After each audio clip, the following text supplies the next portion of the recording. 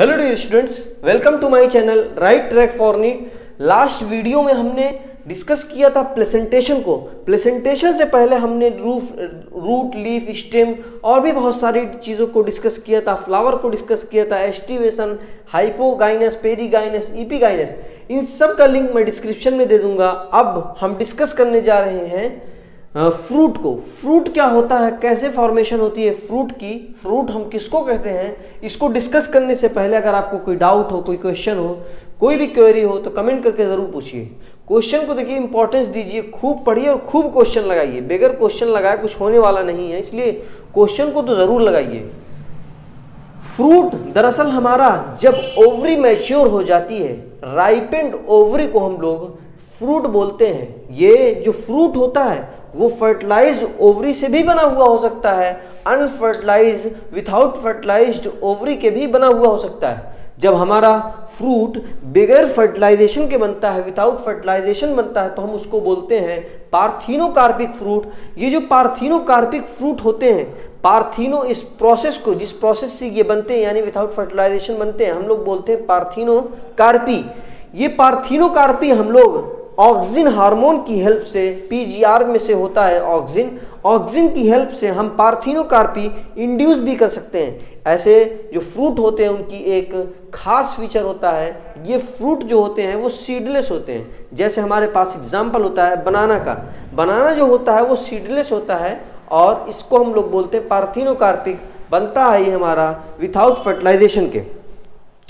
अब जो हमारी ओवरी की वॉल होती है, वही फ्रूट वॉल में कन्वर्ट होती उसको हम लोग बोलते हैं पेरिकार्प अब ये पेरिकार्प फ्लैशी भी हो सकती है और ड्राई भी हो सकती है। अगर ये फ्लैशी होती है और थिक होती है तो ये डिवाइड होती है ईपीकार्प मीजोकार्प और इंडोकार्प अलग अलग फ्रूट में अलग अलग ये हो सकती है, या नाम तो सभी का यही रहेगा ईपीकार्प मीजोकार्प और इंडोकार्प लेकिन मैंगो के केस में जो हमारा ईपीकार्प होती है, वो समझ लीजिए जो पील होता है, जो छिलका होता है, वो होता है ईपीकार्प जबकि मिजोकार्प जो होता है, जिसको हम खाते हैं, इडिबल पोर्शन जो होता है, वो होता है हमारा मीजोकार्प। जबकि हार्ड, अंदर वाला जो होता है मटेरियल उसको हम लोग बोलते हैं इंडोकार्प। पेरिकार्प, इंडोकार्प और मीजोकार्प, मैंगो केस में, वे, मैंगो के केस में वेल डिफ्रेंशिएटेड होता है। जबकि जो हमारा कोकोनट होता है, उसमें मीजोकार्प फाइब्रस होता है। इसमें जो मिजोकार्प होता है कोकोनट के केस में, वो होता है हमारा फाइबरस अब जो हमारा ये कोकोनट और मैंगो है, जो दो ही एनसीईआरटी में दो ही एग्जांपल डिस्कस किए गए हैं। बहुत सारे एग्जांपल होते हैं, जैसे प्लम वगैरह भी है। कि इनको हम ड्यूब भी कहते हैं, इनकी खास बात क्या होती है कि ये मोनो कार्पिलरी और सिंगल सीडेड होते हैं, ये बने हुए होते हैं सुपीरियर ओवरी से, मोनो कार्पिलरी और सिंगल सीडेड होते हैं और बने हुए होते हैं बने हुए होते हैं सुपीरियर ओवरी से। इसको हम ड्यूब भी बोलते हैं। हमारे पास दो एग्ज़ाम्पल यहाँ पर एनसीईआरटी में दिए हुए हैं मैंगो और कोकोनट बहुत सारे और एग्ज़ाम्पल होते हैं, जैसे प्लम है। ये सब होते हैं।